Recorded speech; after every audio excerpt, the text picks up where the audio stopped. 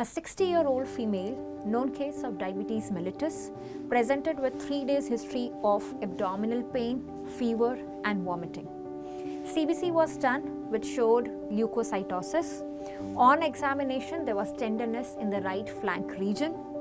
X ray abdomen was done, which showed some black lucencies, mottled appearance in the region of the right renal fossa, suggesting that probably there is air.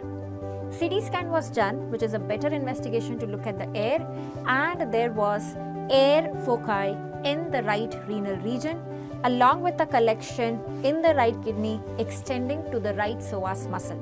The collection also showed some air foci suggestive of an infective collection. So, this case where we see the air foci in the renal fossa in the perinephric space, this is suggestive of emphysematous pyelonephritis the pus was drained and around 60 cc of pus was drained and the culture showed Klebsiella which was grown.